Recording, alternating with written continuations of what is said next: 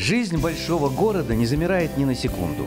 В предрассветной тишине выходят на работу инженеры и врачи, педагоги и дворники, водители трамваев, пекари и кондитеры – все те, кто своим трудом создает неповторимое лицо города. Наш рассказ о лучших по профессии.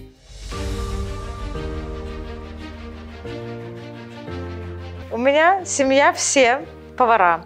Ну, я просто немножко отклонилась от курса, так сказать. Стала кондитером.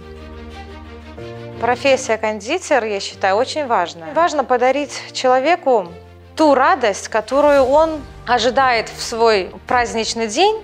От меня будет даже зависеть его настроение на празднике. А люди тоже приходят, пишут благодарности.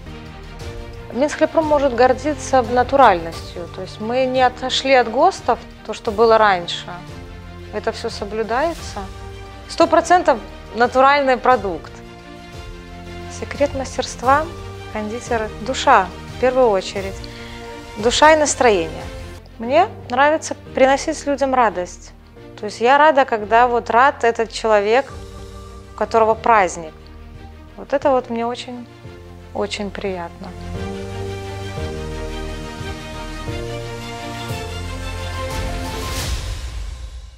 Попасть в сладкое царство шоколада и карамели мечтают многие дети. В Беларуси пропуском в профессию кондитера может стать диплом одного из 22 учебных заведений. Самый большой торт, испеченный когда-либо в Минске, весил 727 килограммов. Но и традиционная выпечка минских кондитеров ежедневно радует жителей столицы и ее гостей.